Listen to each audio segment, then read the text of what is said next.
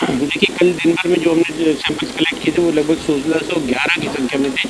जिनमें से चौदह सौ सात की रिपोर्ट रात तक हमें प्राप्त हो गई थी। उनमें तेरह सौ चौवन पेशेंट्स के जो सैंपल थे, वो निगेटिव आए थे और तिरपन पेशेंट्स के सैंपल पॉजिटिव आए थे। तो इंदौर की कुल जो अभी संख्या है, वो सत्रह सौ अस्सी पहुँच जाती है।